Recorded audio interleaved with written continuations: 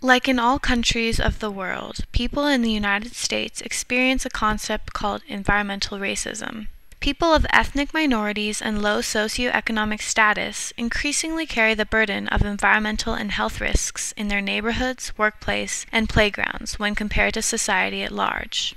For example, a Commission for Racial Justice study found that African Americans are 79% more likely than whites to live in neighborhoods where industrial pollution is suspected of causing the greatest danger to overall health. This study found that three of the five largest waste facilities dealing with hazardous materials in the United States are located in poor black communities. This study also showed that three out of every five African Americans and Latinos live in areas near toxic waste sites, as well as live in areas where the levels of poverty are well above the national average. The Commission for Racial Justice contends that approximately half of all Native Americans live in communities with an uncontrolled toxic waste site. Children of color who live in poor areas are more likely to attend schools filled with asbestos, live in homes with peeling lead paint, and play in parks that are contaminated. These same children are nearly nine times more likely than economically advantaged children to be exposed to lead levels so high they can cause severe learning disabilities, as well as other neurological disorders. Even more startling, 96% of African American children who live in inner cities have unsafe amounts of lead in their blood. Over the last few decades, grassroots groups all over the country have begun to address environmental racism. They have organized and empowered their communities to improve the way government regulations, as well as health and environmental policies, are created and implemented. These advocates are part of the burgeoning environmental justice movement. Environmentalism can now be said to be equated with social justice and civil rights.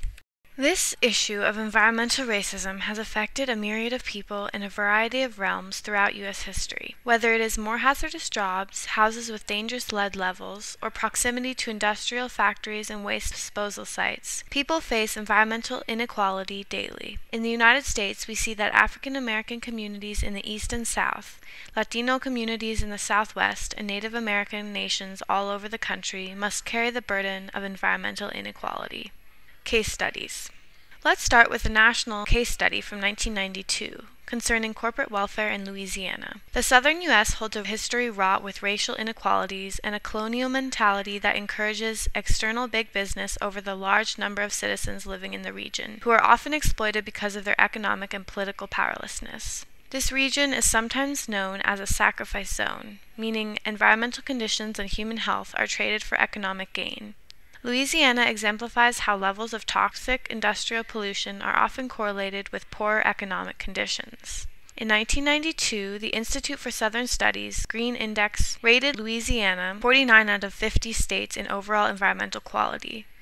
Louisiana is not a wealthy state. It is ranked 45th in spending on education this same year, for example. The combination of these ratings is not surprising when we look at the prevalence of corporations receiving corporate welfare or lenient regulations and tax breaks that allow pollution of local air, water, and land in the process of the production of much of America's petrochemicals. In two parish towns, Geismar and St. Gabriel, 18 chemical plants are squeezed into a 9.5 square mile area. These companies, one by the name of Borden Chemicals, have been found to illegally store hazardous waste, fail to install containment systems, burn hazardous waste without a permit, contaminate groundwater below the plant, and ship toxic waste without notifying the Environmental Protection Agency, or EPA. Some fines were imposed for these corporate crimes, but much of these are negated by the large number of tax breaks that these companies receive from the state and national government. A justification for subsidizing these businesses is the creation of jobs for local citizens. Although job creation is a legitimate concern, researcher Robert Bullard reveals with detailed data that the few jobs that are created by subsidizing polluting companies come at a high risk to local taxpayers and the environment. A growing body of evidence shows that environmental regulations do not kill jobs, and in fact, according to PT Templet, states with lower pollution levels and better environmental policies generally have more jobs, better socioeconomic conditions, and are more attractive to new business.